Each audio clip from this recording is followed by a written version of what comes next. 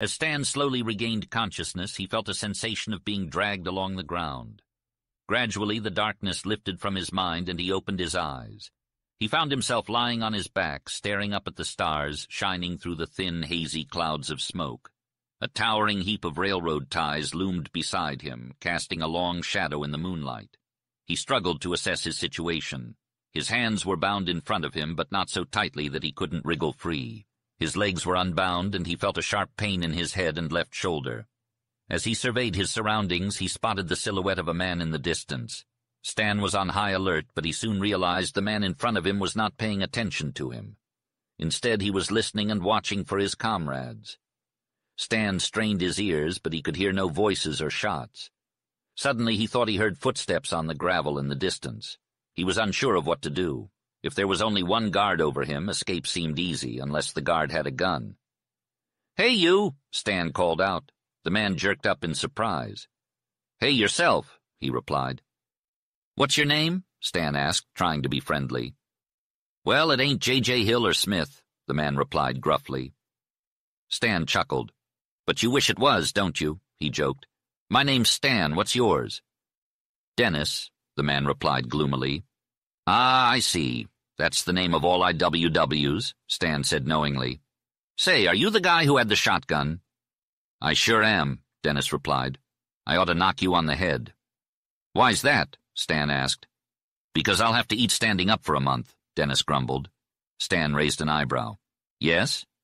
The seat of my pants must have made a good target, because you sure pasted it full of birdshot, Dennis explained. Stan tried to hold back a laugh, but his anger soon took over. Didn't you burn my wheat? he demanded. Are you that young Arquette? Dennis asked in surprise. Yes, I am, Stan replied hotly. Well, I didn't burn one damn straw of your old wheat, Dennis insisted. You didn't? But you're with these men? You're an IWW, you've been fighting these farmers here, Stan accused. If you want to know, I'm a tramp, Dennis said bitterly. Years ago, I was a prosperous oil producer in Ohio. I had a fine oil field, Along comes a big fellow, tries to buy me out, and when that failed, he shot off dynamite charges into the ground next to my oil field. Choked my wells. Ruined me. I came west, went to farming. Along comes a corporation, steals my water for irrigation, and my land went back to desert. So I quit working and trying to be honest. It doesn't pay. The wealthy are only getting richer at the expense of the poor. It's why I'm now a drifter, the man lamented. Friend, that's a tough break, sympathized Stan. It really makes you think, but I'll tell you one thing, you don't belong with the IWW even if you are a drifter. Why not? asked the man. Because you're American. That's why, Stan replied. Well, I know I am, but can't I be American and travel with a labor union? No, the IWW isn't a labor union, it never was. Their main goal is to abolish capital. They're anarchists, and now they're backed by German money. The IWW is an enemy to America. All this sabotaging of railroads, destruction of timber and wheat, it only helps Germany in the war. The United States is at war. Can't you see that your own country will suffer because of these actions? The hell you say, exclaimed the man in disbelief. This Stone guy is probably a German agent or spy. He's not a labor leader. What does he care about people like us? Young man, if you don't shut up, you'll make me want to go back to real work. I hope I do. Here's some advice. Leave the IWW and go to Triton. Ask for Smith at Many Waters Ranch and tell him I sent you. Smith at Many Waters, huh? Well, maybe it'll surprise you to know that Stone is there. He's got a lot of men and is heading there from here. No, that doesn't surprise me. I hope he does go there, because if he does, he'll get killed. Shh, whispered the guard. Here comes some of the gang. Stan heard hushed voices and quiet footsteps. Some figures emerged from the darkness. Bradford, has he come to? asked Stone's cruel voice. Nope, replied the guard. I think he got a hard hit. He ain't moved an inch, said Stone. We gotta get out of here, he continued. It's way past midnight and there's a freight train down the track waiting for us. Everybody needs to get on it. You, Bradford, go catch up with the others. What are you going to do with this young guy? asked Bradford, curious. That ain't none of your business, replied Stone. I know it ain't, but I'm asking anyway. You want me to join your IWW, but I need to know if you're going to let this Arquette go. Striking for your rights is one thing, but burning wheat or hurting young farmers is another. Stone's group of five men stood in silence. Bradford towering over the smaller stone. Stan watched, intrigued. I'll cut his throat, hissed Stone. Bradford lunged forward, striking Stone in the face. Stone would have fallen hard, but his comrades caught him. They held him up, but he was clearly unconscious. Bradford backed away, then turned and ran. Stone's comrades held him up, peering at him, but no one spoke. Stan saw his opportunity. With one swift move, he freed his hands. He reached for his gun, but it was gone. Without hesitation, Stan rushed towards the group. He saw Stone's pale face in the starlight and knew that he was recovering. With all his might, Stan swung at Stone, hitting him harder than Bradford did. Stone was lifted off his feet and fell onto one of his men, knocking them both down. As Stan fought off his attackers with swift punches to the right and left, he managed to knock them down and make his escape into the darkness. He could hear their piercing yells behind him, which only fueled his adrenaline. However, he soon found himself confronted by another group of men whom he guessed to be members of the IWW. They were gathered around a fire, and they spotted him just as quickly as he spotted them. Realizing that he had no choice, Stan turned to run back the way he had come, only to face the men he had just assaulted. They immediately opened fire on him, and the sound of bullets whistling past him was uncomfortably close. With all his might, he ran as fast as he could. When he finally reached the end of the line of cars, he found himself under the light of a new fire. He could hear someone yelling beyond a nearby shed, and he thought he recognized Jerry's voice. But he didn't stop to find out. As he ran across the freight yard, he could hear the sound of his pursuers' heavy boots and their hoarse cries behind him. He intended to circle around the station and make his way to the village, but he knew he had to put some distance between himself and his pursuers first. Looking back, he could see the gang, well spread out, coming into the light of the new fire, but he was sure that no one in the group could ever catch him. Suddenly, a powerful blast of wind seemed to lift him off his feet. At the same time, a blinding yellow light illuminated the whole area, and the earth seemed to shake beneath him. A deafening roar filled his ears as he was thrown through the air, surrounded by streaks and bursts of fire. He landed in the dirt, tumbling and rolling until the force of the explosion had been expended. Lying on the ground, Stan gasped for air and coughed up dust and debris.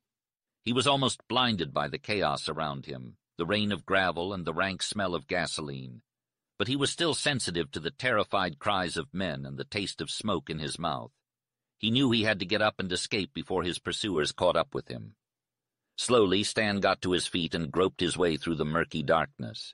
He could hear men running and yelling off to his left, and the rumble of a train coming from below the village. Finally, he emerged from the smoke and found himself in a field opposite the station. He took a moment to rest and assess his condition, surprised to find that he was only bruised, scratched, and sore. He had expected to be riddled with bullets. Whew, they blew up the gasoline shed, he exclaimed to himself. But some of them miscalculated, for if I don't lose my guess, there was a bunch of IWW closer to that gasoline than I was. Some adventure. I got another punch at Stone. I felt it in my bones that I'd get a crack at him. Oh, for another. And that Bradford, he did make me think. How he slugged Stone. Good, good. There's your old American spirit coming out. Stan sat down to rest and listen. The only sound he heard was the rumbling of a train gradually drawing away. A heavy smoke rose from the freight yard, but there were no longer any flames or patches of red fire. The explosion had smothered them all.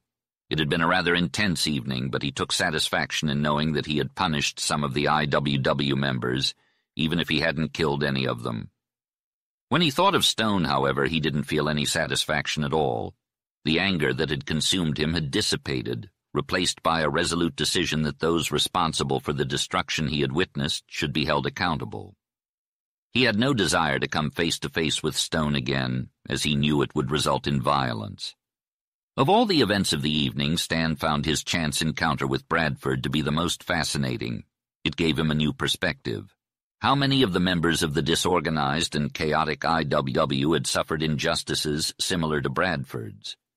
He suspected there were many such stories.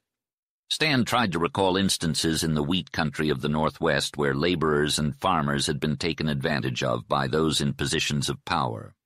It disheartened him to realize he could recall many such cases. Even his own father had a long-standing grudge against Smith, and his father's friend Newman was known for his shady dealings. It seemed that many had profited from the misfortune of others.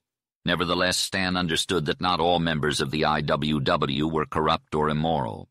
He was grateful for this revelation. The IWW was founded by labor activists, and they were the ones who should be held responsible for their actions. Their punishment should be severe. Stan began to see how the war, as brutal as it would be, could ultimately benefit the country. As dawn approached, Stan was surprised to realize how much time had passed. He waited a little longer, wary of encountering any remaining members of the IWW. It seemed they had all fled. As he made his way across the freight yard, he saw the devastating aftermath of the fire. The elevators were destroyed and his bountiful wheat yield along with them.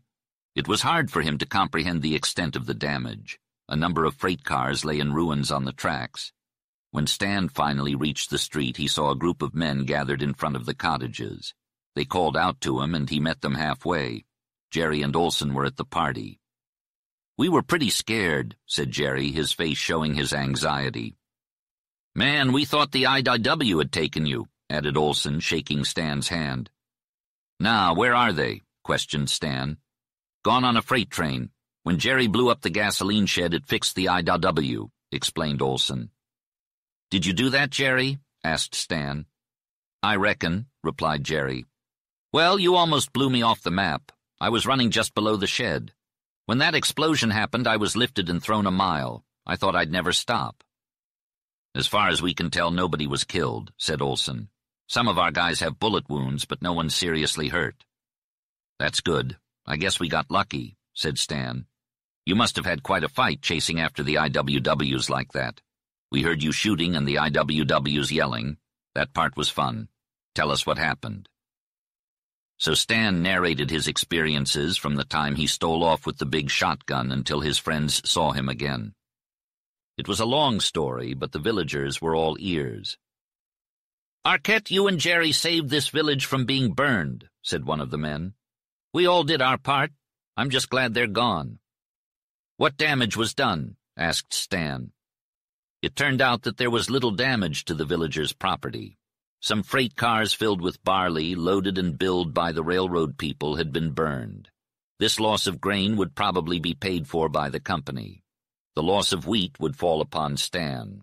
In the rush of the harvest and transportation to the village, no provision had been made for loss. The railroad company had not accepted his wheat for transportation and was not liable. Olson, according to our agreement, I owe you $15,000, said Stan. Yeah, but forget it, replied Olson. You're the loser here, Stan was told by the farmer. I'll pay it, replied Stan. But man, you're ruined, exclaimed the farmer. You can't pay that big price now, and we don't expect it. Didn't you leave your burning fields to come help us save ours? queried Stan. Sure, but there wasn't much of mine to burn, the farmer replied. And so did many of the other men who came to help. I tell you, Olson, that means a great deal to me. I'll pay my debt or... But how can you? interrupted Olson reasonably. Sometime, when you raise another crop like this year, then you could pay. The farm will bring that much more than I owe Smith, Stan replied. You'll give up the farm? exclaimed Olson. Yes, I'll square myself. Arquette, we won't take that money, said the farmer deliberately. You'll have to take it. I'll send you a check soon, perhaps tomorrow, Stan insisted. Give up your land, repeated Olson. Why, that's unheard of. Land in your family for so many years. What will you do? Olson, I waited for the draft just on account of my father. If it had not been for him, I would have enlisted. Anyway, I'm going to war. That silenced the little group of grimy-faced men. Jerry, get our horses and we'll ride home, said Stan. The tall foreman strode off. Stan sensed something poignant in the feelings of the men, especially Olson. This matter of the IWW dealing had brought Stan and his neighbors closer together. And he thought it a good opportunity for a few words about the United States and the war in Germany so he launched forth into an eloquent expression of some of his convictions. He was still talking when Jerry returned with the horses. At length he broke off rather abruptly, and saying goodbye, he mounted. "'Hold on, Stan,' called Olson, and left the group to lay a hand on the horse and to speak low. "'What you said struck me deep. It applies pretty hard to us of the Bend. As farmers, we never really thought much about our country. We left our homeland to come here, so we never really had a strong connection to it. Personally, I'm not German, and I've never been to Germany. However, many of my neighbors and friends are of German descent. The war never really seemed to affect us until now. I know Germans who live in this country. They left their homeland and have become citizens of this country. They have no allegiance to Germany now. It may take some time to get them to understand the gravity of the situation, but I am confident that they will come around. The German Americans of the Northwest will be true to the country they have adopted when the time comes. You can take my word for it, Arquette. Chapter 16 The sun blazed over the wheat fields as Stan and Jerry pulled up to the farm. Stan couldn't believe how barren and dismal everything looked. However, the fallow land extending to the south still held its beauty, and it seemed to smile at him, urging him to wait for another spring. But he couldn't wait. He had to leave for many waters soon. As he washed the blood and grime from his body, he realized just how many bruises he had. His head had a lump and his hands were scraped. After changing his clothes and packing his papers and a few belongings in a valise, he headed down to breakfast. Though he was lost in thought, he could tell that both Jerry and the old housekeeper were surprised and worried to see him preparing to depart. He hadn't said anything about his plans, and he knew that this was going to be difficult. As the time came to say goodbye, his tongue felt thick and his voice sounded strange. Martha, Jerry, I'm leaving for good, he muttered hoarsely. I'm going to give the farm to Mr. Smith. I'm leaving you in charge here, and I recommend that you stay on. Here's your payment up to date said Stan to Jerry. I'm going off to fight in the war, and I don't think I'll ever return. The old housekeeper, who had been like a mother to Stan for many years, began to cry. Jerry was filled with regret but couldn't find the words to express it. Stan abruptly left the house, leaving Jerry and the housekeeper behind. It was strange that he was feeling such difficult emotions that he had never considered before. But the truth was that he was leaving his home forever, Stan first went to visit the graves of his father and mother on the south slope. The simple burying ground had not been affected by the fire. Although there was no grass, a few trees and bushes kept it from appearing barren. Stan sat down in the shade near his mother's grave and looked out across the hills with a distant gaze. A subtle assurance came over him that his mother approved of his decision to go to war. He remembered her as a slow, quiet, patient, hard-working woman who had been dominated by his father. The slope was hot and still, with only the rustling of leaves in the wind. The air was dry, and Stan missed the sweet fragrance of wheat. The odor that lingered was like burning weeds. The bend opened up on three sides, undulating and vast. His parents had spent the best of their lives there and had now been taken to the soil they loved so much. It seemed natural. Many were buried there, toilers of the wheat who had spent their last days on those hills. Surely in the long frontier days and in ages before, countless men had gone back to the earth from which they had sprung. The dwelling places of men were beautiful. It was only life that was sad. In this moment of reflection, Stan couldn't help but feel overwhelmed with human emotions of longing and regret. He drew strength from the two graves on the windy slope, but the meaning of life was something that couldn't be fully comprehended by anyone. As he walked across the fallow land and stubble fields, memories flooded back from his boyhood days. He remembered crushing down the stubble with his bare feet, and every step brought forth a new recollection. When he entered the barn and climbed the airy loft, the smell of straw and years of dust and mice filled his senses. The swallows darted in and out, their friendly chirping filling the space. Home was important even for birds, and the swallows had returned year after year to their nests. The old barn had seen better days, and Stan decided that it needed to be strengthened. The rough shingling had holes and boards were missing from the sides. The accumulation of grain dust on the rafters and in the corners was as thick as snow, and mice ran in and out almost as tame as the swallows. As he bid farewell to the mice, he remembered how he used to chase and trap them with his boyish ingenuity. But that instinct, along with so many other things, had faded away. The horses were what he loved most, especially the faithful old Badge who had carried him when he was a boy. He and a neighbor boy had once ridden old Badge when they went to fetch the cows from the pasture. Stan mounted his broad back from the fence, feeling the thrill of the ride. The mischievous neighbor boy had struck old Badge with a stick, and the horse had taken off at a gallop towards home, with Stan holding on tightly and bouncing up and down on his back. It was a ride unlike any other, but when he returned home his father had whipped him for the adventure. It was only after giving up these ordinary experiences on the farm that Stan realized their true value and meaning. The hills, barn, horses, swallows, mice, cows, and chickens all had a role in shaping him into the person he was. As he slowly made his way back to the old house, Stan climbed the stairs to the three rooms upstairs. One of the rooms, his mother's, had not been opened in a long time. It was just as he remembered it, and it stung him to think of her and how he was now a man going out to fight for his country. The question of why he was doing it lingered in his mind, but he couldn't find an answer in his mother's room. With a last look, goodbye, and a word of prayer on his lips, he turned to his own small room. The room was tiny, with a sloping roof that forced him to stoop when close to the wall. There was no ceiling, just bare yellow rafters and dark old shingles with little holes that let in light. The window was small, low, and without glass. It was in this room that he had sat many times, leaning out in the hot summer nights, dreaming of a future that never came true. Unfortunately, the hopes and dreams of one's youth often fall short. This room, which had been a constant presence throughout his life, was a significant part of him. He confided in it as if it were a living being. Although he had not achieved what he had hoped for, he didn't feel ashamed at that moment. He realized how few possessions he had, but he had learned to make do with what he had. His time in that room was over, and he was filled with immense sadness. Despite this, he would not have wanted anything to be different. He was being called to pursue greater, selfless things. He was bidding farewell to his youth and all that it represented.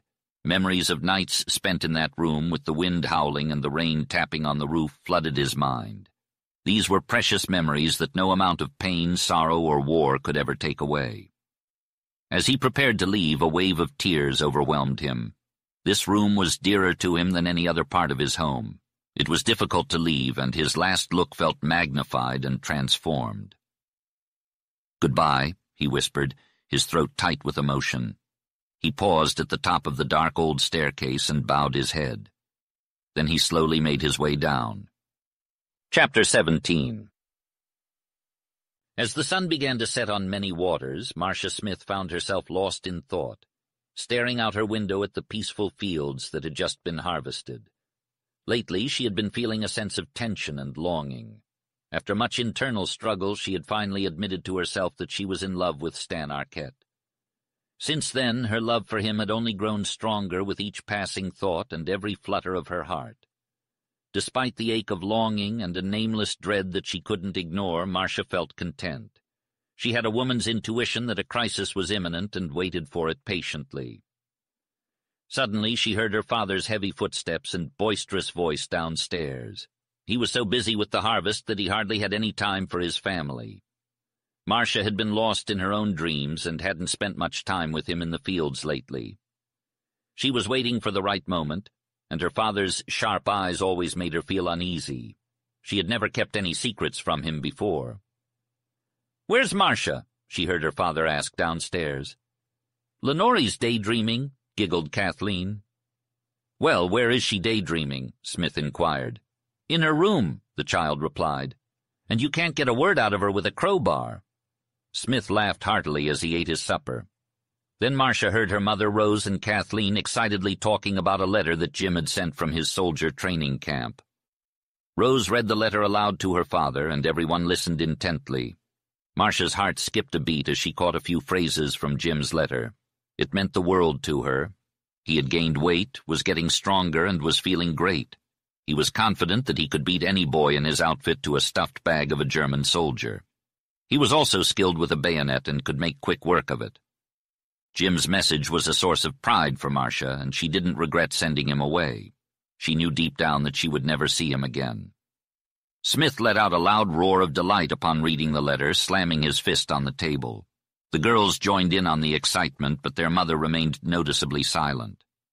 Marcia, lost in her own thoughts, paid them no mind.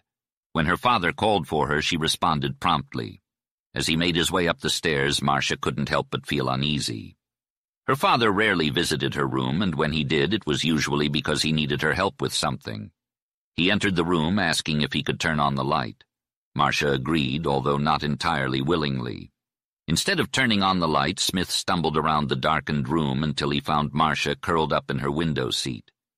He sat down heavily in her armchair and asked how she was doing. Marcia knew that he had come with news or trouble, as he always did. She prepared herself for what was to come. Smith began by mentioning the great letter he had received from a boy. Marcia caught a glimpse of his unguarded face as he lit a cigar with a match. She knew that she needed to be strong. The letter had filled Smith with pride and a fighting spirit. Smith let out a heavy sigh, causing the end of his cigar to glow and fade. Did Jim's letter give you any kind of feeling? he asked his daughter Marcia.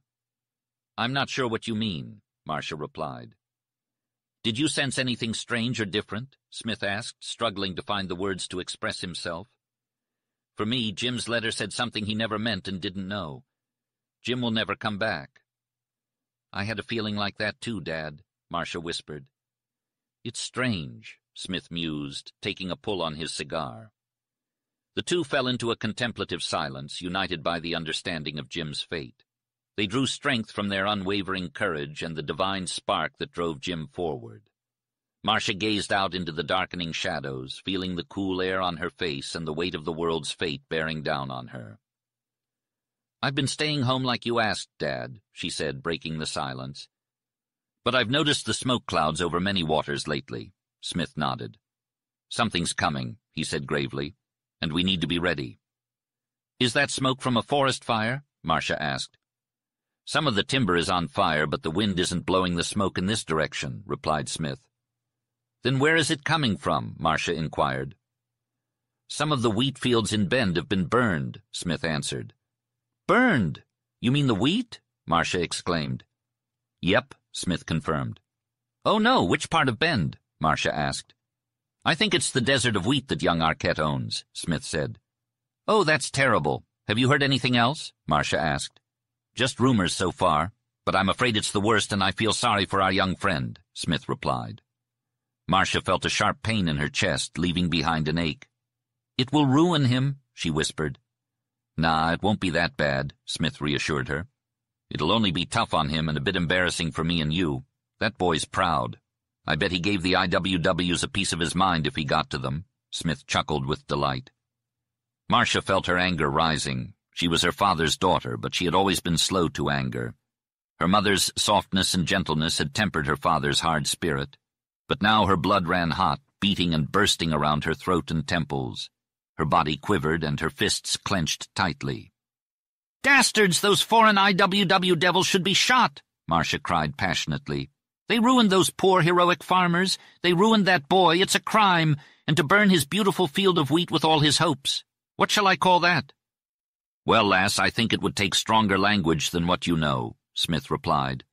And I'm using that same language. Marcia sat there trembling, with hot tears running down her cheeks and her fists clenched so tightly that her nails cut into her palms. Marcia was filled with rage as she realized her powerlessness to prevent the looming catastrophe. The bitter and dark trials weighed heavily on her, and she couldn't help but feel acute pain at the thought of the despair that Stan Arquette must be feeling. Marcia, Smith began slowly, his tone gaining strength and vibrating with emotion, you love this young Arquette. This statement caused a tumultuous shock to course through Marcia's body. She quivered with a shuddering thrill, knowing that her father had spoken the forbidden secret she had whispered to herself in private. Marcia gasped as her anger dissipated in an instant. Even in the darkness, she buried her face, trying to comprehend the conflicting emotions and thoughts that now plagued her. He had not asked, he had affirmed. He knew, and she could not deceive him even if she wanted to. For a moment she was weak, caught in the midst of contending tides. Sure, I saw he was in love with you, Smith continued. I saw that right away, and I wouldn't have thought much of him if he hadn't been. But I wasn't sure of you until the day Arquette saved you from Thompson and brought you back. Then I saw, and I've been waiting for you to tell me. There's nothing to tell, Marcia faltered. I reckon there is, he replied, leaning over and tossing his cigar out the window. He took hold of her, and Marcia felt his impelling presence like never before. She was powerless against the warmth and strength of his hand, feeling safe and secure like she had when she was a little girl. She crept into his arms, burying her face on his shoulder, and felt as though her heart would burst if she didn't release the emotions that had been building up inside her. Marcia whispered with a soft voice that trembled, Oh, Dad, I love him. I really do love him. It's terrible. I knew it the last time you took me to his home when he said he was going to war, and now you know. Smith held her tightly against his chest, lifting her with a great heave. Uh-huh. I guess that's a relief. I wasn't so sure, said Smith. Has he told you he loves you? What do you mean? asked Marcia. Has Arquette confessed his love to you? Marcia lifted her face. If her confession had brought relief to her father, it had brought even more to her. What had seemed terrible before now felt natural. However, she was still intense, vibrating, and internally convulsed. Yes, he has, she replied shyly. But it was such a confession. He told me as if he was explaining his own boldness. He fell in love with me at first sight, and meeting me was too much for him. He wanted me to know.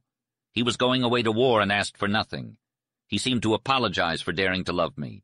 He asked for nothing, and he has absolutely no idea that I care for him. Well, I'll be darned, exclaimed Smith. What's wrong with him? Dad, he's proud, replied Marcia dreamily. He's had a hard struggle out there in his wheat desert. They've always been poor. He thinks there's a vast distance between an heiress of many waters and a farmer boy. But more than anything, I think the war has fixed a morbid trouble in his mind. It must be real enough. A house divided against itself is what he called his home. His father is German and he is American. He worshipped his mother, who was a native of the United States. He has become estranged from his father. I'm not sure, but I feel like he's obsessed with his German heritage, and that's why he's so eager to go to war, Marcia said to her father. Well, Stan Arquette ain't going to war, her father replied confidently. I took care of that. Marcia was thrilled and jumped into her father's arms. Daddy, what did you do? I got him exempted, Smith said proudly. Exempted? Marcia asked, confused. Don't you remember the government official from Washington? You met him in Spokane. He was out west to encourage farmers to grow more wheat. There are many young farmers who are needed a thousand times more on the wheat fields than on the battlefields. And Stan Arquette is one of them. That boy will be the biggest wheat grower in the Northwest. I recommended exemption for him, and he's exempted, but he doesn't know it. He doesn't know? Marcia exclaimed. He'll never accept exemption, Smith said, worried. I'm afraid there's something strange about him. But he's sensible. He can be told things, and he'll see how much more he's needed to raise wheat than to kill Germans. But, Father, what if he wants to kill Germans? Marcia asked earnestly. She felt something strange about Arquette that she couldn't explain. Then it's up to you, my girl, her father said grimly. I have no sentiment about Arquette in this matter. One good wheat grower is worth a dozen soldiers. To win the war and feed our country after the war, it'll take millions of bushels of wheat. I've sent my own son to fight, but he's never been one to raise wheat. All he's ever raised is hell, and his kind is needed now, so let him go to war. But Arquette must be kept home. That's up to Marcia Smith, said Smith with a laugh. I'll use my woman's wiles when Arquette comes. The Northwest can't afford to lose young men like him. If he's lost his wheat, he'll come down here to make me take the land in payment of the debt. I'll accept it, and then he'll say he's going to war. But we'll have it out. I'll offer him such a chance here and in the Bend that he'd have to be crazy to refuse. But if he's got a twisted mind and thinks he has to go out and kill Germans, then you'll have to change him. But, Dad, how can I do that? asked Marcia, torn between hope, joy, and fear. You're a woman now, and women are in this war up to their eyes. You'll be doing more to keep him home than if you let him go. He's crazy about you. You can make him stay. And it's your future, your happiness. Child, no Smith ever loves twice. I cannot throw myself into his arms, whispered Marcia. I didn't mean for you to, replied Smith gruffly. Then if he doesn't ask me to marry him, how can I? Marcia, no man on earth could resist you if you just let yourself be sweet, as sweet as you are sometimes. Arquette could never leave you. I'm not so sure of that, Daddy, murmured Marcia. Then take my word for it, he said as he got up from the chair, still holding her. Your happiness is more important to me than anything else in this world. You love that boy. He loves you. And I never met a finer lad. He need not be a slacker to stay home. He can do more good here, Marcia's father said, sitting in his armchair. Besides being a wheat man for his army and his country, he can be one for me. I'm getting old, my dear. I have the biggest ranch in Washington to look after, and I want Stan Arquette to look after it. Marcia hugged her father. Dear old daddy, you're the most wonderful father any girl could have. I'll do my best to obey, even if I don't love Stan Arquette. To hear you speak so sweetly of him, it chokes me. Now, good night. She kissed him and gently pushed him out of the room. As she lay on her bed, her face buried in the pillow, her hands clutching the coverlet, she surrendered to a breaking storm of emotions. Terrible indeed had come the presaged crisis of her life. She loved her wild brother Jim, who had gone to atone forever for the errors of his youth. She loved her father, who had finally confessed the sad fear that haunted him. She loved Arquette, the stalwart, clear-eyed lad who set his face so bravely toward a hopeless, tragic fate. These were the burdens of the flood of her passion, and they rushed her from girlhood into womanhood, calling to her with imperious desires and deathless loyalty. Chapter 18 As soon as Marcia's outburst of emotions had died down and she lay peacefully in the darkness, she noticed the sound of hasty footsteps passing by the path beneath her window. Initially she paid no attention to them, but gradually the consistent steps became more distinct in number and frequency, arousing her curiosity to the point where she decided to get up and take a glance outside. I'm not a child anymore, I can take care of myself, retorted Marcia, and I deserve to know what's going on. I heard men passing by my window and I want to know who they are and what they want. Jake hesitated for a moment before finally relenting. All right, Miss Marcia, he said, but you stay behind me and keep quiet. We don't want to give ourselves away. Marcia followed Jake down the path into the grove. As they crept closer to the clearing, she could hear the low murmur of voices. Peering through the bushes, they saw a group of men gathered around a fire. Marcia recognized some of them as her father's neighbors and farm hands, but there were a few unfamiliar faces as well. They were all dressed in work clothes, but some of them had bandanas tied around their faces. Marcia watched as her father stepped forward and addressed the group. Gentlemen, he said, his voice low but firm, we all know why we're here. The IWW has been causing trouble in these parts, and we can't just sit back and let them run roughshod over us. We need to take action, and that's why I've called this meeting. We're going to form a vigilante group to protect our homes and our families. Who's with me? There was a murmur of assent from the group. Marcia felt a cold knot form in her stomach. She had heard stories of vigilante justice before, and they never ended well. But her father seemed determined, and she knew there was no talking him out of it. As the meeting broke up and the men started to disperse, Marcia and Jake slipped away unnoticed. As they made their way back to the house, Jake turned to Marcia. You shouldn't have come, Miss Marcia, he said. It's dangerous. I had to know, replied Marcia, and I can't just sit back and do nothing. I want to help. Jake looked at her for a moment, then nodded. All right, he said, but you have to be careful. This is serious business. Marcia nodded, her mind already racing with plans and ideas. She knew she couldn't stop her father, but maybe she could help him do it right. Maybe she could make a difference. I'm going to go find out where those guys went, said Marcia confidently as she stepped down onto the path. Jake, however, had other ideas. He leaned his rifle against a post and grabbed her with force, swinging her back onto the porch. The light from inside the house illuminated his face, which had turned pale from the effort. Why did you have to handle me like that, Jake? Marcia asked, feigning reproach. She was trying to coax the truth out of him. You hurt me. I'm sorry if I was rough, Jake apologized. I'm just a little upset, and I mean business. Marcia closed the door and then returned to Jake's side, whispering in the shadows. I was just joking. I would never disobey you. But you can trust me. I won't tell anyone, and I'll worry less if I know what's going on. Jake, is my father in danger? I reckon he is, but we've got him covered. There are four of us cowboys guarding him during the day, and at night he's surrounded by even more guards. He's not likely to get hurt, so don't worry about that, Jake assured her. Who were those men I heard passing by? Where are they from? Marcia asked curiously. They're farmers, ranchers, and cowboys from all over this side of the river, Jake replied. There must have been a lot of them, Marcia observed. You haven't heard the half of it. There are way more people attending Smith's meeting than you could ever imagine, Jake said. Why? Marcia pressed. Tell me, Jake. Jake hesitated, his hand slapping against the rifle stock. We've been ordered not to say anything, he finally replied.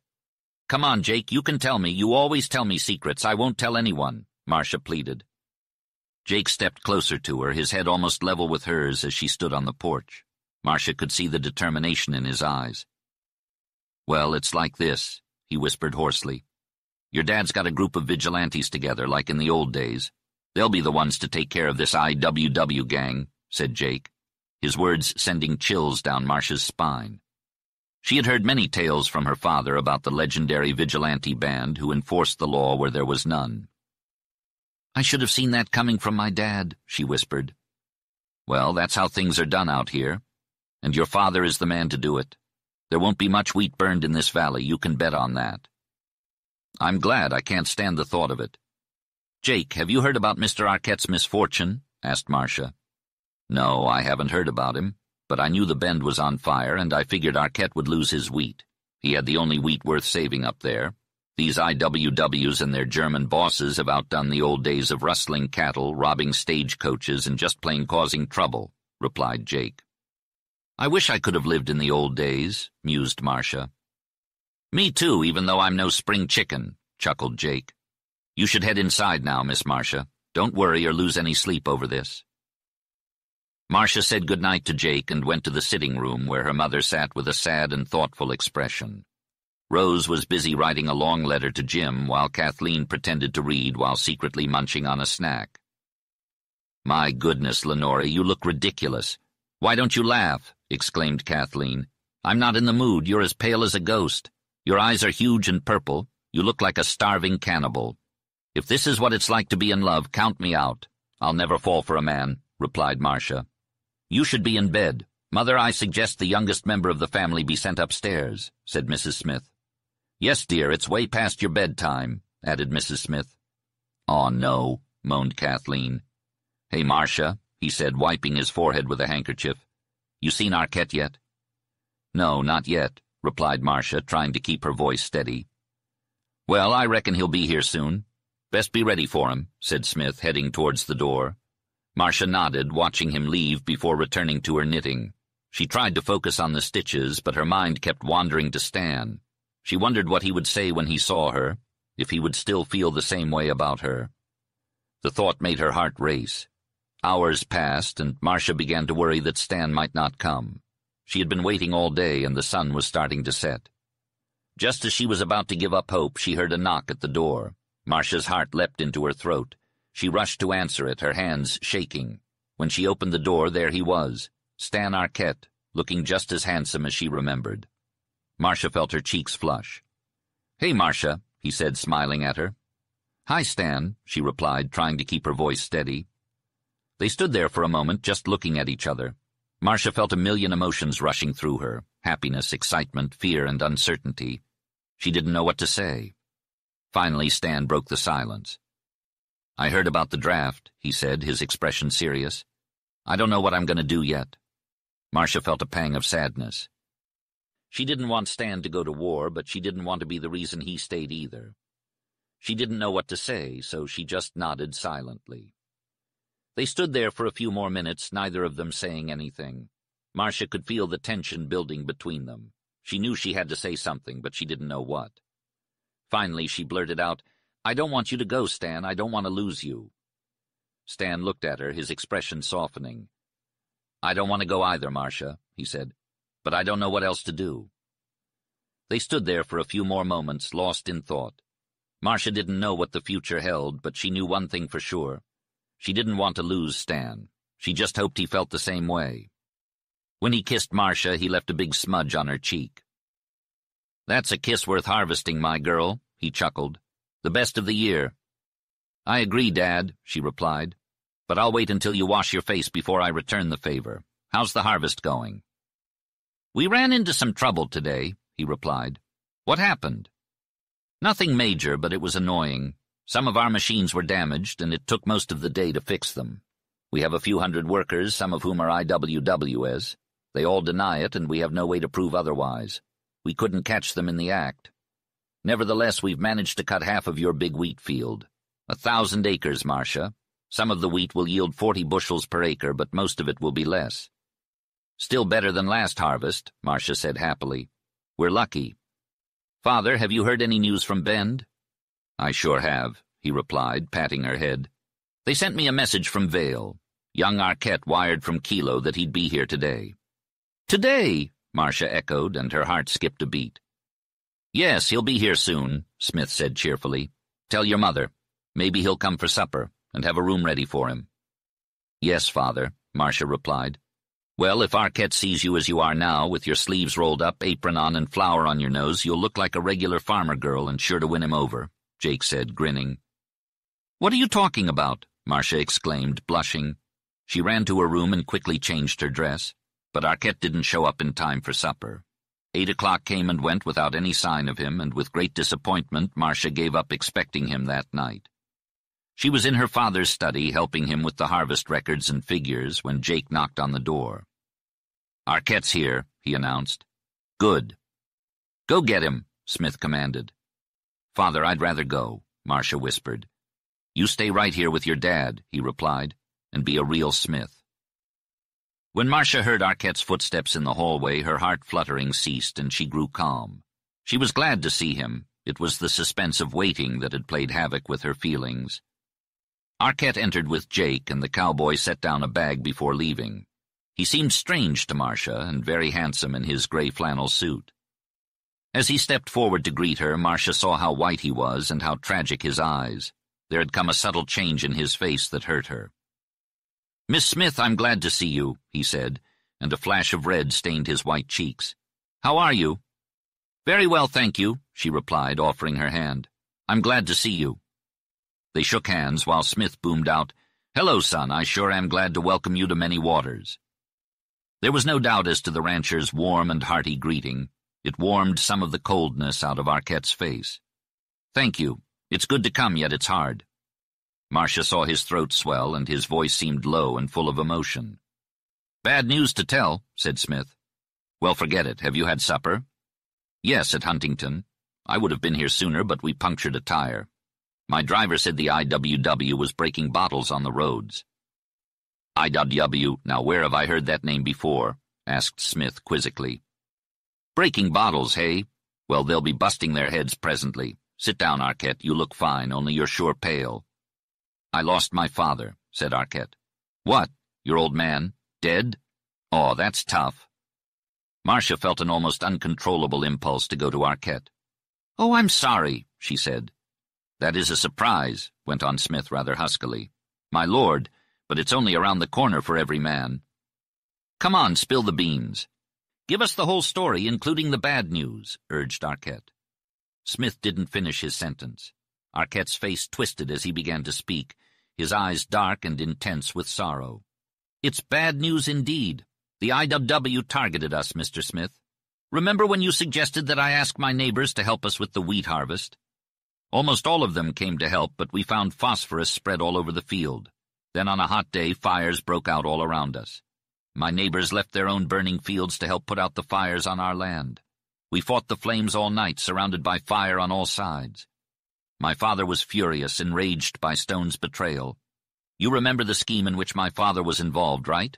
He refused to believe that the IWW would burn his wheat. When the fires broke out, he worked like a madman. It killed him. I wasn't with him when he passed, but our foreman Jerry was.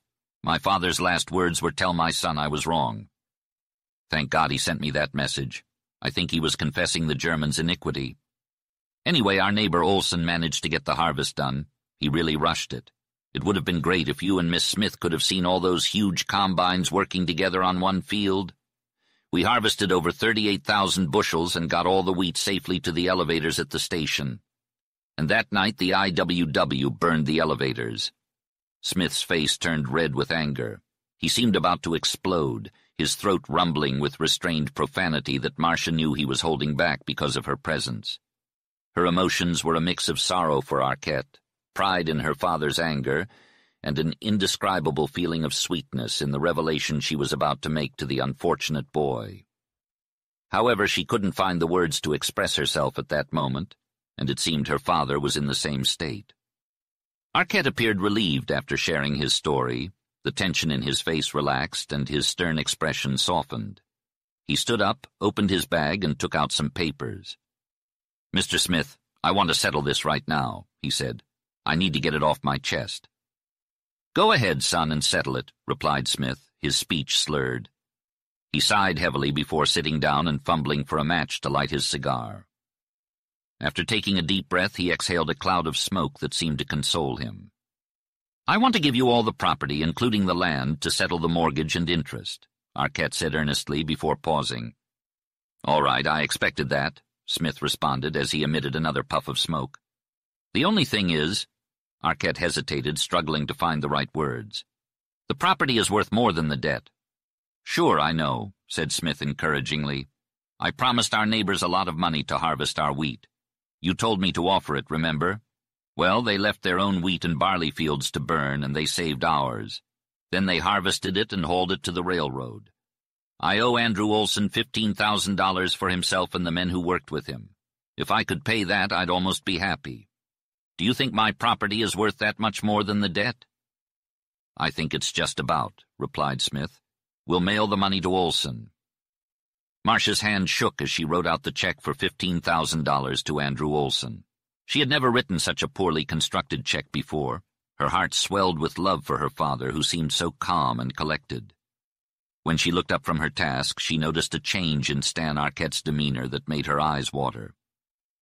We'll run into town in a day or so and file the papers, said Smith as he took the check from Marcia. Arquette tried to express his gratitude, but Smith interrupted him, saying, Things ain't so bad as they look. For instance, we're going to fool the IWW down here in the valley. How can you? There are so many, replied Arquette. You'll see. We're just waiting for a chance, said Smith confidently. I saw hundreds of IWW men between here and Kilo, said Arquette. Can you tell an IWW from any other farmhand? asked Smith. Yes, I can, replied Arquette grimly. Well, I reckon we need you around here powerful much, said Smith dryly. Arquette, I've got a big proposition to put up to you. Marcia's heart raced as her father spoke. Arquette appeared more composed. Have you? he inquired. Sure, but there's no hurry about telling you. Suppose we put it off said Smith. I'd rather hear it now. My stay here must be short. You know, began Arquette. Hmm, sure I know. Well, then it's this. Will you go in business with me? I want you to work that Bend wheat farm of yours for me on half shares.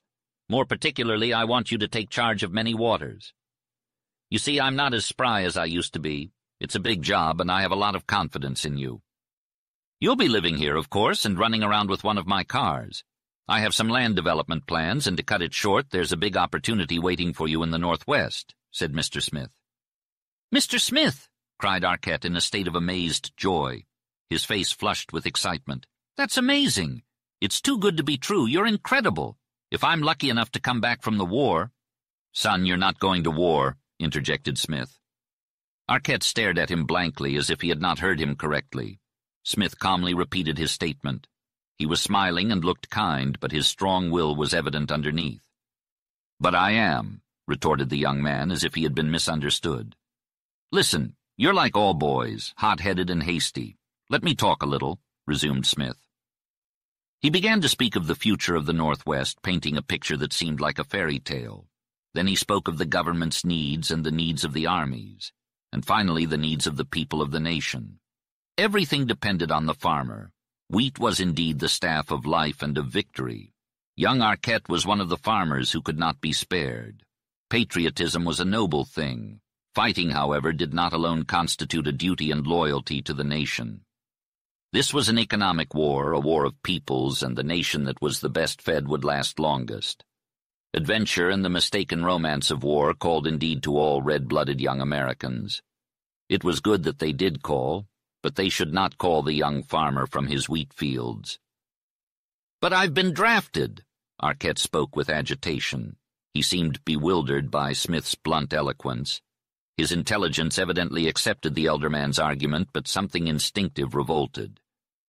There's exemption, my boy. It's easy in your case, replied Smith. Exemption! exclaimed Arquette, his face flushing with anger. I wouldn't even consider it.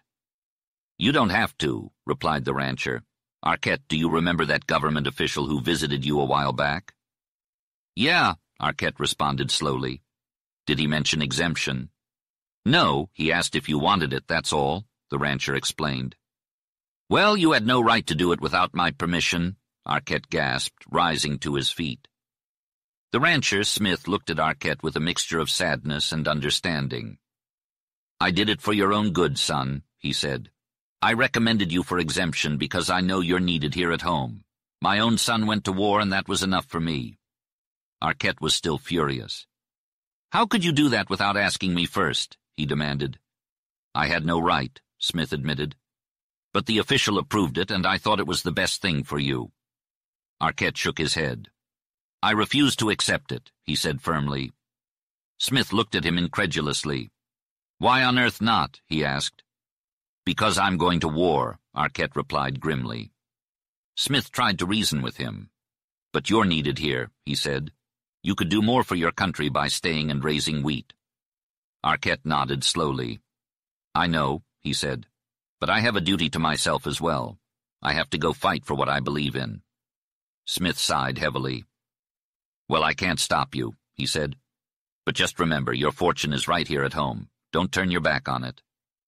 Arquette nodded again, his mind made up. I won't forget, he said, but I have to go. You want to fight? Smith asked Arquette. Yes, he replied. Smith threw his hands up in surrender. You want to kill some Germans, then? Why not come out to my fields and take care of some German IWWs? Arquette didn't know how to respond to that. I'm sorry, Smith said. I can see this is a tough situation for you. You can stay at my home for a few days. We all owe you a lot. My family wants to make it up to you. Will you stay? Arquette agreed to stay for a few days. Smith hoped that after spending time with his family and the girls, Arquette would start to think more reasonably. You think I'm ungrateful, Arquette said. I don't think anything, Smith replied. I'm turning you over to Marcia. He laughed as he watched Arquette's defeat and looked at Marcia, indicating that the outcome depended on her. Marcia, take him in to meet Mother and the girls and entertain him.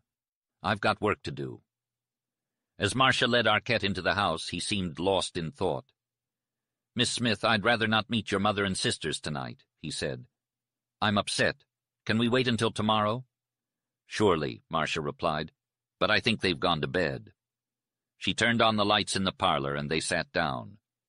The feeling of being alone with him was inexplicable, yet she felt completely free from the torment that had possessed her before. Marcia had divined an insurmountable obstacle in Arquette's will, making her tremble with the realization that her father's wishes and her future depended entirely on what she said and did. It was clear to her that she had become a woman. She knew that it would take a woman's wit, charm, and love to change this tragic boy. Miss Smith, he began brokenly with restraint let down, your father doesn't understand. I've got to go. Even if I am spared, I couldn't ever come back. To work for him all the time in love with you, I couldn't stand it. He's so good. I know I could care for him, too. Oh, I thought I was bitterly resigned, hard, inhuman. But all this makes it so much worse. He sat down heavily, and completely unnerved, he covered his face with his hands. Short, strangled sobs broke from him, and Marcia had to overcome a rush of tenderness. She could not decide whether dropping to her knees beside him and slipping her arms around his neck would be womanly or not. All she knew was that she must make no mistakes. A hot, sweet flush went over her when she thought that always as a last resort she could reveal her secret and use her power. What would he do when he discovered she loved him? Stan, I understand, she said softly and put a hand on his shoulder. She stood beside him, sadly troubled, vaguely divining that her presence was helpful until he recovered his composure. As he raised his head and wiped tears from his eyes, he made no excuses for his weakness, nor did he show any shame. Miss Smith, he began. Call me Marcia, she said. I feel so stiff when you're formal. My friends call me Marcia. He asked, You mean you consider me your friend? She replied with a smile, Indeed I do. He said, I'm afraid I misunderstood your asking me to visit you. She replied, I thank you. I'm proud and glad that you call me your friend. It will be splendid to remember when I am over there. I wonder if we could talk about anything except trouble and war, Marcia said plaintively. If we can't, then let's look at the bright side, he asked with a sad smile. Is there a bright side? Marcia replied, Every cloud, you know. For instance, when you go to war. He interrupted, Not if. I am going. Marcia softly returned, Oh, so you say? She felt deep within her the inception of a tremendous feminine antagonism. It stirred along her pulse. Have your own way, then. But I say if you go, think how fine it will be for me to get letters from you at the front and to write you. You'd like to hear from me? You would answer? he asked breathlessly. Assuredly, and I'll knit socks for you, she replied. You're very good, he said with strong feeling. Marcia again saw his eyes dim. How strangely sensitive he was. If he exaggerated such a little kindness as she had suggested, if he responded to it with such emotion, what would he do when the great and marvelous truth of her love was flung in his face? The very thought made Marcia weak. You'll go to training camp, Marcia continued, and because of your wonderful physique and intelligence, you will get a commission. Then you'll go to France. You'll be in the thick of the great battles. You'll give and take. You'll kill some of those Germans. You'll be wounded and you'll be promoted. Then the Allies will win. Uncle Sam's Grand Army will have saved the world. Exciting news! You're coming back home to take the place that Dad offered you, Marcia exclaimed with enthusiasm. Arquette's face lit up, reflecting the brightness of the moment. I never thought you could be like this, he said in amazement. Like what? Marcia asked. I'm not sure. You're just different from what I imagined, not cold or arrogant. You're getting to know me better, she replied.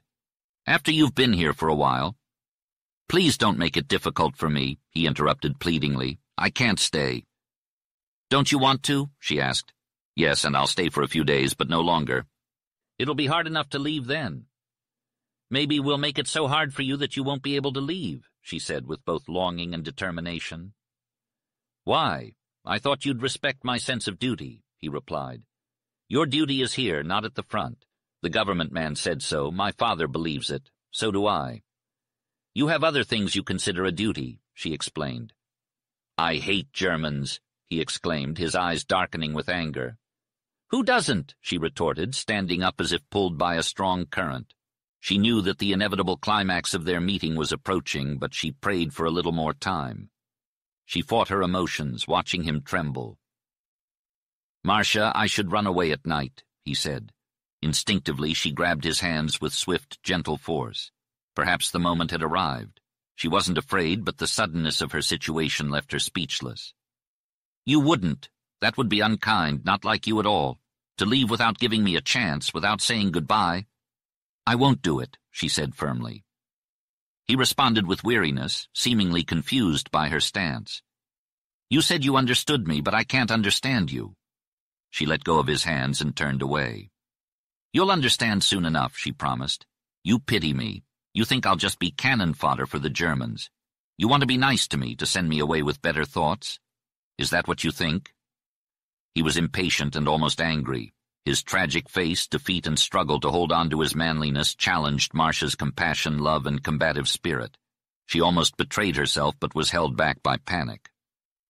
I'll give you the surprise of your life soon, she replied, putting on a smile. He was so obtuse and blind. Perhaps the stress of his fate left him with no keenness. He responded to her smile as if she were a determined child.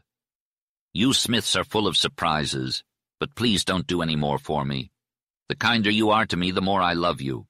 How dreadful it is to go to war, to violence, blood, and death, to all that's brutalizing with my heart and mind full of love for a noble girl like you. If I love you any more, I won't be a man. To Marcia, he looked like every bit of a man, tall, lithe, and white-faced, with his fiery eyes, simplicity, and tragic refusal of all that was the best of life for most men. Marcia had a chance to seize her ideal, but she couldn't grasp it. Her blood pumped thick and hot through her veins. If only she could be sure of herself. Or was it that she still cared too much about herself?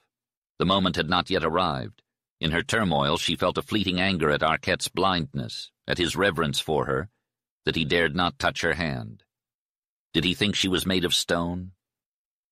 Let's say good night, she said. You're exhausted, and I'm not myself. Tomorrow we'll be good friends. Father will take you to your room. Arquette squeezed the hand she offered, and bidding her good night, he followed her to the hall. Marcia knocked on the door of her father's study, then opened it. Good night, Dad, I'm going up, she said. Will you take care of Stan? Sure, come in, son, replied her father. Marcia felt Arquette's strange, intense gaze on her as she passed him. Lightly she ran up the stairs and turned at the top. The hall was bright, and Arquette stood full in the light, his face upturned. It still wore the softer expression of those last few moments. Marcia waved her hand and he smiled. The moment was natural, youth to youth. Marcia felt it. She marveled that he did not. A sweet devil of wilful coquetry possessed her. Oh, did you say you wouldn't go? she softly called. I said only good night, he replied. If you don't go, then you'll never be General Arquette, will you? What a shame. I'll go, and then it will be Private Arquette missing. No relatives, he replied. That froze Marcia. Her heart quaked. She gazed down upon him with all her soul in her eyes. She knew it and did not care, but he could not see. Good night, Stan Arquette, she called and ran to her room. Marcia found her composure only when she was ready for bed, with the light out and in her usual seat at the window. Nighttime silence and starlight always gave her strength. She prayed to them and to the spirit she believed was beyond them. Then she whispered a fact that her intelligence told her was unchangeable. Stan Arquette could never be changed. However, her sympathy, love, and passion, all the emotions of a woman, refused to listen to her intelligence. She knew that nothing short of a great shock could divert Arquette from his tragic headlong rush towards what he believed was his inevitable fate. Marcia sensed a terrible, sinister earnestness in him, but she could not understand its meaning. It was such a driving passion that no man possessing it and free to the violence of war could ever escape death. Even if by superhuman effort and the guidance of Providence he did escape death, he would have lost something as precious as life. If Arquette went to war, he would go as no ordinary soldier, to obey, to fight, to do his duty, but for some strange, unfathomable obsession of his own, and therefore if he went at all, he was lost. War, in its inexplicable horror, killed the souls of endless hordes of men. Therefore, if he went at all, she too was lost to the happiness that might have been hers. She would never love another man, never marry, and never have a child. So his soul and her happiness were in the balance weighed against a woman's power. Marcia felt hopeless, unsure of how to save Arquette's life and soul. However, a sweet sensation of love called to her, tempting her with its infallible potency. She knew what she had to do, she would do anything to make Arquette love her so much that he would abandon his desperate intent. Time was short, and there was no room for gradual growth of affection. Marcia had to bewilder Arquette with the revelation of her love, and then hold him with all its incalculable power. It was her father's wish, and it would save Arquette. Marcia was determined to be all woman, all sweetness, all love, all passion, all that was feminine and terrible to keep Arquette from going to war. She knew that the government would rather he stayed to raise wheat than fight men. Marcia saw the sanity and the cardinal importance of that, just as her father did. If keeping Arquette there made him a slacker, Marcia swore she would die before lifting her lips to his. In the darkness and silence of the night, with the cool wind on her face, Marcia vowed to do everything in her power to save Arquette. Chapter 19 Marcia woke up early to a beautiful morning, filled with the sweet sound of birds chirping outside her window. She couldn't help but wonder what the day had in store for her. She placed a hand on her chest, trying to calm her racing heart, but the excitement was too much to contain. Despite waking up early, she found herself dragging her feet as she made her way downstairs. She found herself trying to prolong the inevitable, taking on small tasks to delay the daunting task that lay ahead. The atmosphere in the sitting room was lively, and Arquette's infectious laughter brought joy to all. The girls were all vying for his attention, and even her father's deep voice chimed in. It seemed there was a dispute over who would be able to spend time with their guest. They had already had breakfast, and Mrs. Smith expressed surprise at Marcia's late arrival, saying she had called her twice. However, Marcia had been lost in her thoughts, listening only to the birds and the melody in her head. She peeked into the sitting room and overheard Kathleen asking Arquette if he had brought her anything. Arquette, who was flushed and smiling, had no idea Marcia even had a little sister. Smith stood there beaming upon them, and Rose seemed to be showing signs of jealousy. Kathleen, on the other hand, was simply lovable and irresistible. Marcia feared that if Kathleen liked Arquette, she would take possession of him. She felt embarrassed and darted back before she could be seen. The thought of Kathleen's potential aid to her cause crossed Marcia's mind as she ate her breakfast and listened to the animated conversation in the sitting room. Her father eventually came in, greeting her cheerily, and Marcia shared that the day seemed like a challenge. Her father advised her that the biggest duty in life was to hide one's troubles. He also mentioned that Arquette looked like a human being that morning and the kids had won him over.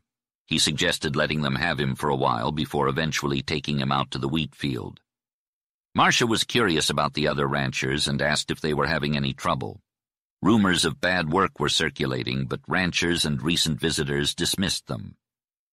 Golden Valley had yet to experience the burning of wheat and timber, destruction of machines, and striking of farm hands that had plagued other areas. The need for militia was unlikely. However, Marcia warned her father not to be overconfident. He was a target for IWW sabotage and needed to be careful. Her father reassured her that he had surrounded himself with cowboys and old hands who were armed and ready for any trouble. They were waiting for the IWW to make a move. Marcia pointed out that chasing the IWW away would only cause trouble for other farmers in neighboring states. Her father soberly acknowledged her point and left the room. Kathleen then entered, excitedly telling Marcia about her new beau. Marcia gave Kathleen advice on how to make him like many waters and promised to do everything for her if she followed her advice. Kathleen eagerly agreed, sensing a new and exciting way to conduct herself. Marcia was taken aback by Kathleen's enthusiasm. It's a bargain, Kathleen said, as if she had agreed to something weighty. Now, Kathleen, take him all over the gardens, the orchards, the corrals and barns, Marcia instructed. Be sure to show him my horses especially. Take him round the reservoir and everywhere except the wheat fields. I want to take him there myself. Besides, Dad doesn't want you girls to go out to the harvest. Kathleen nodded and scampered back to the sitting room. Marcia heard them all leave together. Before finishing breakfast, Marcia's mother returned. Marcia, I like Mr. Arquette, she said thoughtfully. He has an old-fashioned manner that reminds me of my boyfriends when I was a girl. I mean, he's more courteous and dignified than boys nowadays. A handsome boy, too, only his face is so sad. When he smiles, he seems like someone else. No wonder he's sad, replied Marcia, briefly telling her mother Stan Arquette's story. Ah, sighed Mrs. Smith. We have fallen upon evil days, poor boy. Your father seems very interested in him. And you are too, my daughter? Yes, I am, replied Marcia softly. Two hours later, she heard Kathleen's joyful laughter and footsteps. Marcia put on her wide-brimmed hat and went out to the porch. Stan Arquette was not the same somber young man he had been before. Good morning, Stan, said Marcia, shaking his hand. The moment he greeted her, she saw that the stiffness and aloofness had vanished. Kathleen had made him feel at ease. He looked younger. There was color in his face. Kathleen, I'll take care of Mr. Arquette now, if you'll allow me that pleasure. Lenore, I sure hate to give him up. We sure had a fine time. Did he like many waters? Marcia asked. Well, if he didn't, he's a big liar, replied Kathleen. But he did. You can't fool me. I never thought I'd be able to get him back to the house, Marcia said as she climbed up the porch steps.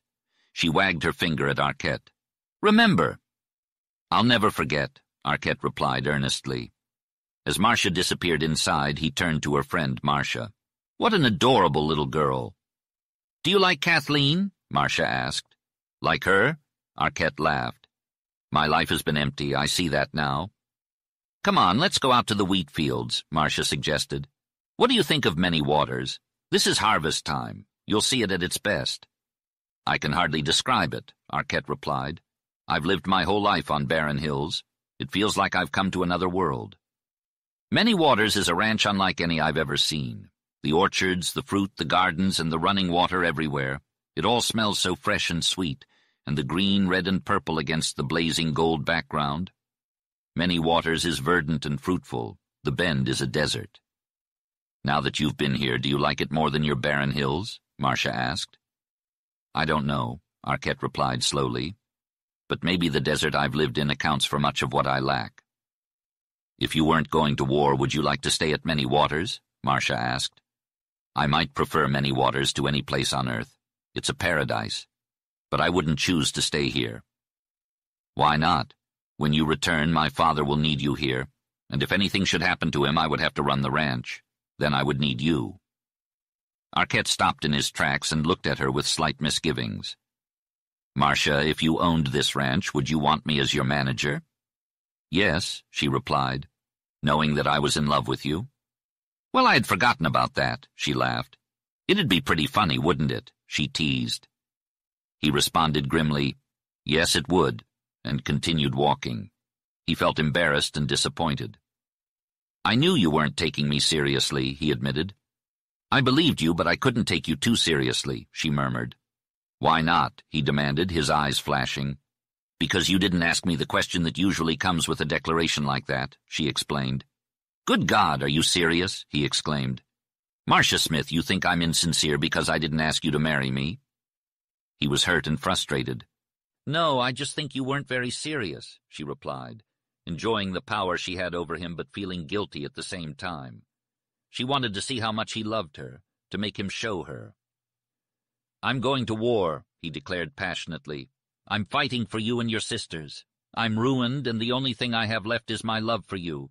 If you don't believe that, then I'm the most miserable person in the world. Most guys going to war leave behind someone they love, but I have no one but you. Please don't make me a coward. I believe you. Please forgive me, she said, feeling remorseful for her teasing. If you had asked me to marry you, I would have thought you were selfish and egotistical. You're above me, and I know it. Even if I wasn't born with the blood I have, even if I was wealthy instead of broke, I wouldn't dare ask you to be mine until I come back from the war unscathed, said the man as they walked down the lane. They came close to the wheat field, and the dry wind carried the smell of the harvest, making the hot day pleasant. The sound of the machines was deafening, like the roar of a flour mill. If you come back from the war unharmed? Marcia asked teasingly. She was determined to have her fun with him. He was so blind it was unbelievable, but that made her happy. He was like the barren hills of his desert, simple but strong and heroic. Then I'll propose to you just to add another conquest to the list of things girls love, he joked. Watch out, boy, I might just accept, she laughed. But his playful mood didn't last. Even under her influence, he couldn't be carefree. Please stop joking, he said, frowning. Can't we talk about something else besides love and war? Those topics seem to be popular right now, she replied boldly. And besides, all's fair in love and war, you know. No, it's not fair, he said, his voice low and serious. So please, I beg of you, stop joking. I know you're sweet and you have so many wonderful, surprising words and looks, but I can't understand you. Please don't make me look foolish. Well, if you keep complimenting me, and if I like them, what then? she asked, amused. You're very original and gallant, Mr. Stan Arquette, and I quite like you. I'll get angry with you, he threatened. You couldn't. I'm the only girl you're leaving behind, and if you got angry, I'd never write to you, she said, thrilled and heartbroken to see how her words affected him.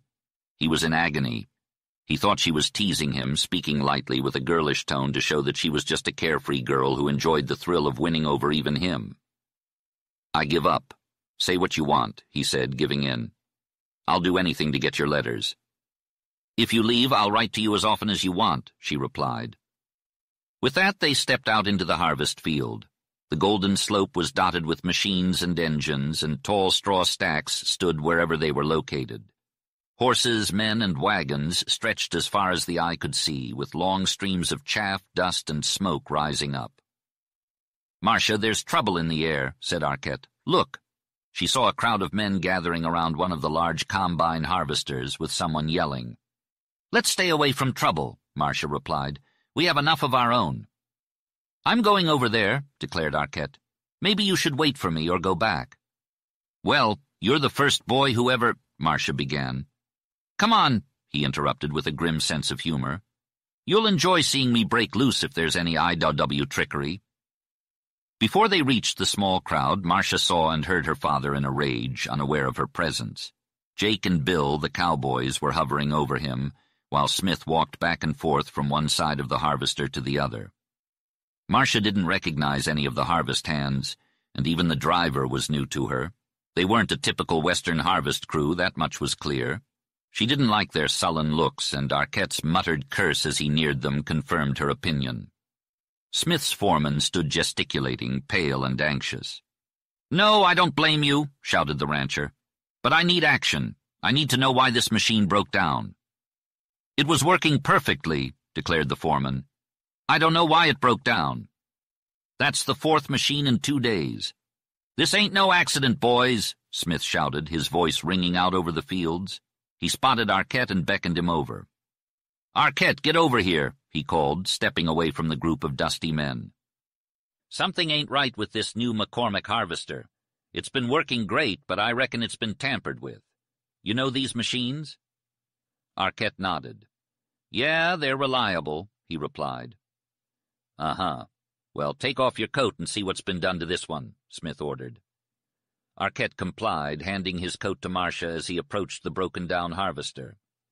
As he began to work on the machine, Marcia whispered to her father, Dad, I don't like the look of these harvest hands. Smith shrugged. This is just a sample of the lot I hired. No fancy society for you, my girl. Arquette continued to work, the sounds of his wrench and the harvester's machinery filling the air. Finally he emerged, covered in grime and holding the wrench.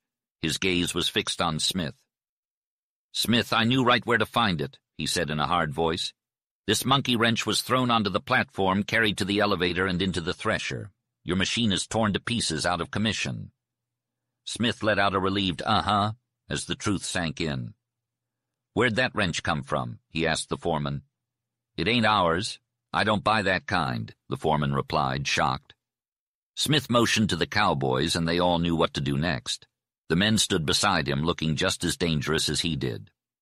Hey, Stan, he called out, motioning for Marcia to stand in front of him. They moved a few steps away from the harvest hands, out of earshot. You were right on the money, weren't you? Arquette replied. I've had a hell of a time this harvest season, but I'll bet you I can figure out who threw that wrench into your harvester.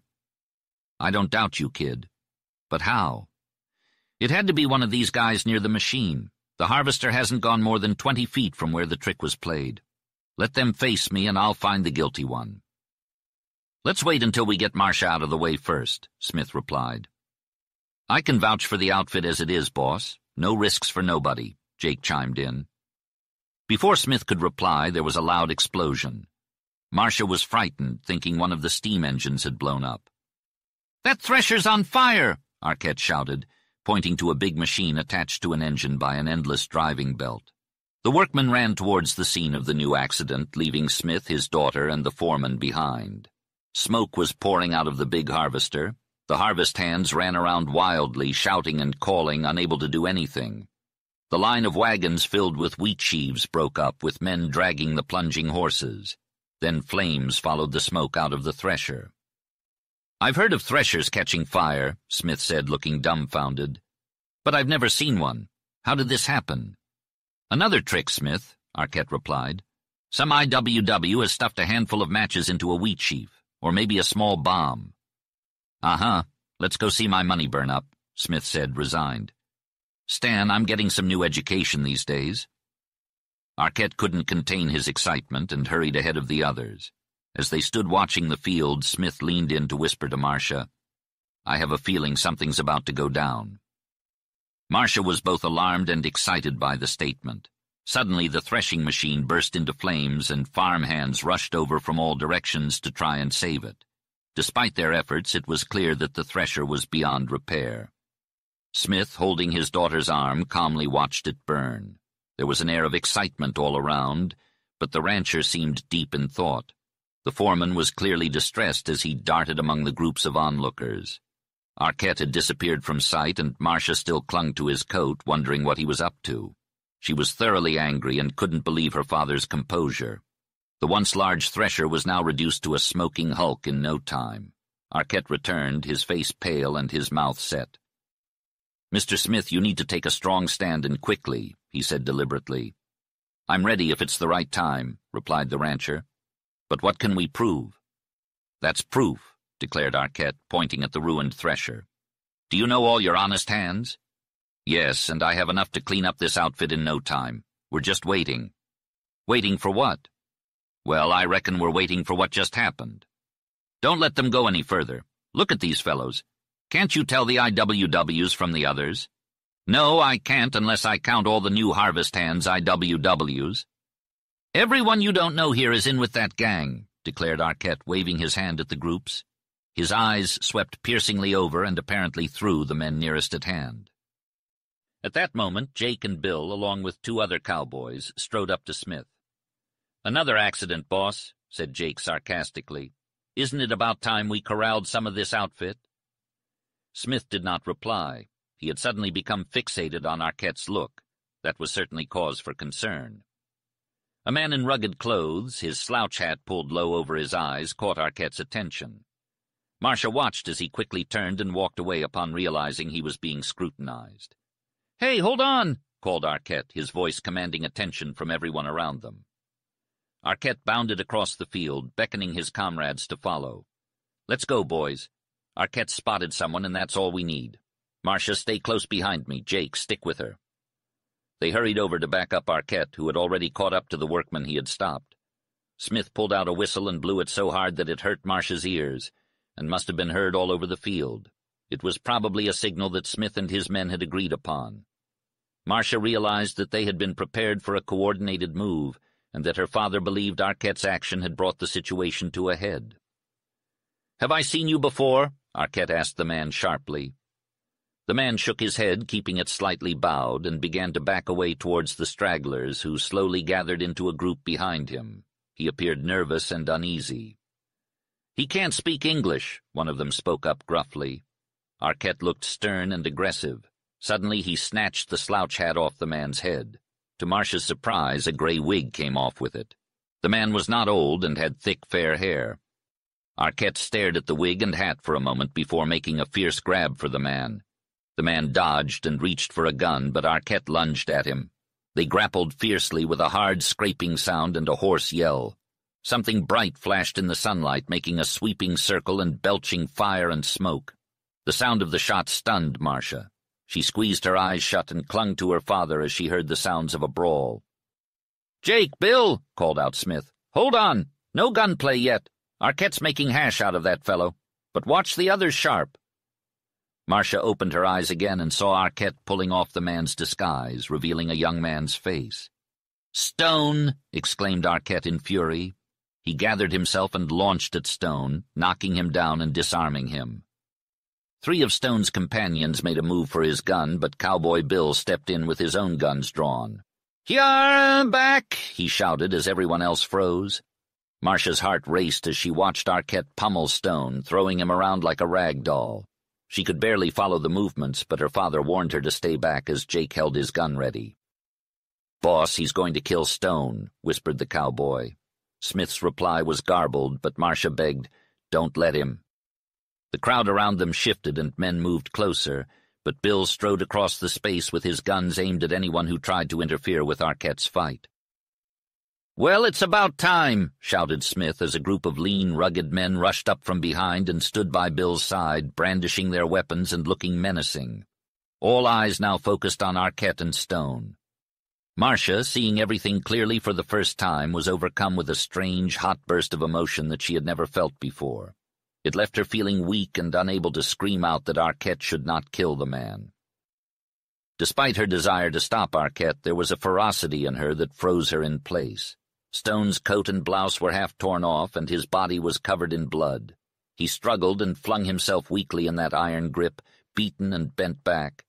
His tongue hung out, bloody and fluttering with strangled cries. His face was a ghastly sight, filled with fear of death. Finally, Marcia broke her silence, overcome with horror and passion. For God's sake, don't let Arquette kill him, she pleaded. Why not? muttered Smith. That's Stone. He killed Arquette's father, burned his wheat, and ruined him. Dad, for my sake, she cried, her voice breaking. Jake, stop him. Pull him off, yelled Smith. Arquette, let go. You're cheating the gallows. Hey, Bill, he's a bull. Help. We need help here, quick. Marcia couldn't see what happened next, but she could sense from the way the crowd swayed that Stone had been freed. Hold up this outfit, yelled Smith to his men. Come on, Jake, drag him along. Jake appeared, leading the disheveled and wild-eyed Arquette. Son, you did my heart good, but there were some around here who didn't want you to spill blood.